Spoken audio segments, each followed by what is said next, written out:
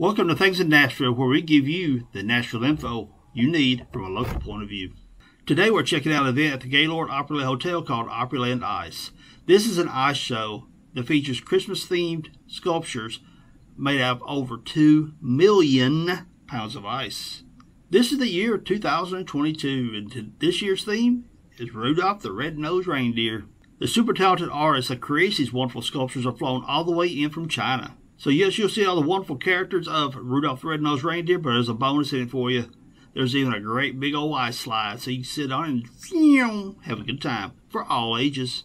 So give you guys a little heads up about something. It's about nine degrees inside there, but what they give you is these blue parkas to wrap you up in. Your body stays pretty warm, but if you need to keep your ears, your my noggin, bald head, keep it warm, hmm, you might want to put a hat on. Now, just a little disclaimer before the video starts. Due to the music playing in the background, possibly being under copyright, I use some of uh, YouTube's free music in the media library to give you guys a little background music. Come on now, let's get it, y'all.